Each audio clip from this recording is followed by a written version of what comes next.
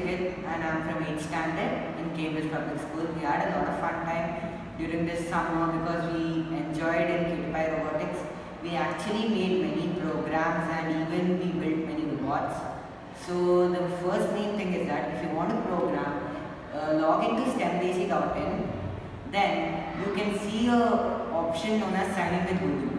You need to sign in with your email account of uh, your, with your Gmail account uh, using your password and then you you'll open up a new page where you will get start new project.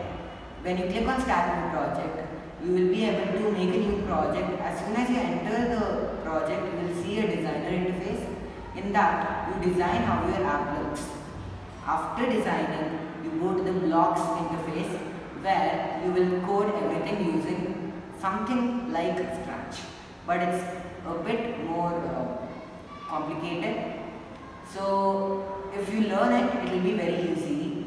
So first we use uh, motors for RC car and if we want to make it in an obstacle avoider, we can use an ultrasonic sensor. So for all this, when you go in the designer interface, you need to add on the uh, motors, the, uh, the sensors and everything. Then when you go to the blocks interface, you will get those in the side. So you need to click them and you need to build your blocks on your own.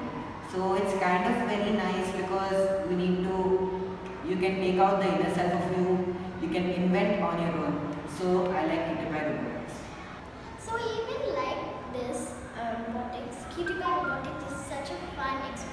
You have you have to have a fun experience with this, and uh, it will allow children to focus more on robotics and understand more in robotics. I really recommend you